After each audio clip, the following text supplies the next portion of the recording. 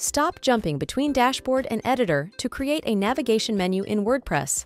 With GutenKit, you can create a menu directly into the block editor.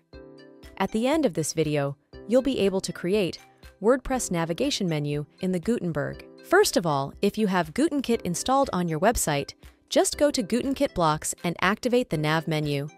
Now, on the block editor, add the nav menu to your web page. You can easily add the existing pages of your website to the menu with just a click. You also have the option to add custom label and custom URL for each menu item. While customizing the menu, you can set the menu breakpoint for tablet, mobile, or add a custom breakpoint. Then to customize the appearance, choose the background colors, adjust the space between menu items, and you can select the font family, font weight, size, line height, and everything regarding typography. To go further, you can choose different styles for normal, hover, and the active state of the menu items. To add a submenu, just click on the submenu icon in the block toolbar and add items just as similarly as you added main menu items. You can also enable submenu from the block sidebar. After that, adjust the width and customize the styles of the submenu.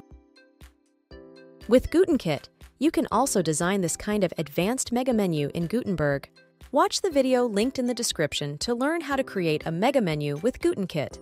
The menus you design with GutenKit are pixel perfect for any device. You can design mobile responsive menu with dedicated mobile menu settings, where you can insert a logo, add custom links to it, and choose a menu logo for mobile. For the mobile menu, you can customize the icon size, width, color, and every single detail of the hamburger, icon, and logo. That's it. You have designed a beautiful WordPress menu that takes your website's user experience and aesthetics to the next level for mobile, desktop, or any device.